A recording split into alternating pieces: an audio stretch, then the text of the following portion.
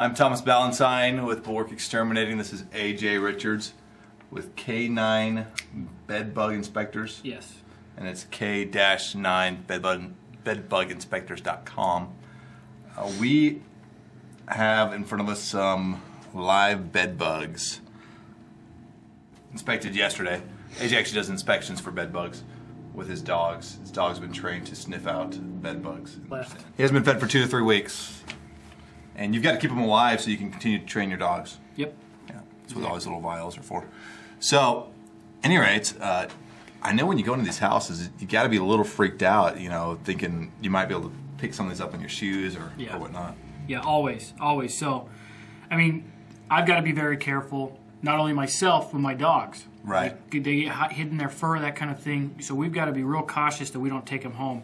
I'm, I'm, I can tell you that my wife would not be satisfied with uh, living conditions if I brought these guys to the house. So. Don't want to do a video on how quickly a home gets infested. right. So, in my uh, infinite wisdom, I decided to uh, recommend to AJ that he protect himself, and I believe this will do it.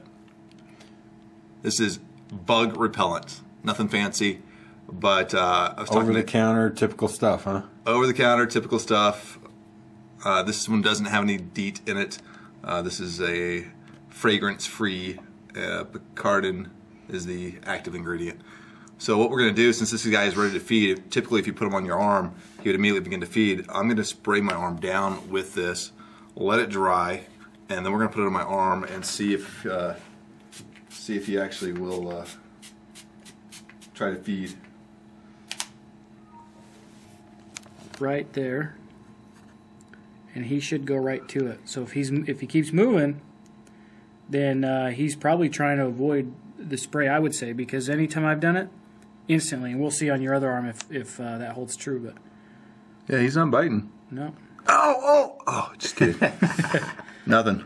Actually, when they bite, you can't even feel it, right? Because they, they inject Right. their. their the saliva on the tip of their little sucker has a uh, anticoagulant, so the blood flows freely, and an anesthetic, so you don't feel it. Whew, kind of tickles, actually. Yeah. But uh, yeah, it looks like he's trying to avoid avoid your arm. Should we see what happens on the other one? Yeah. I, I'm pretty happy, actually, with not being bitten right now. So Relation would be that they're just avoiding it. yeah, it's I really don't want to do this right now. I really don't want a little vampire stuck in my arm. Look at that, dude. There you go. Ah! Seriously. Straight to eating. Straight. Oh Wow. Oh. Okay, you can take them off now. You can't even feel him. You got I know, I know, but I just don't like it sitting there. Thomas. You got to let him fill up. No way, dude. This is gross. You c- just think of it's like a mosquito. No. Yeah. I don't like mosquitoes. You don't I like would squash it right now. Can I just slap it real quick? No, I need him. Are you done? Okay. Yeah, I'm done, dude. I was done five so- seconds ago. Ah, come on. Thanks. All right. Well, I'll, I'll go ahead. That was pretty nasty. I didn't like having that on my arm one bit. I noticed. All right, anyway, I'm a happy camper. Go buy some today. I think it's a wrap. See you guys. Check back That's in a wrap. sometime.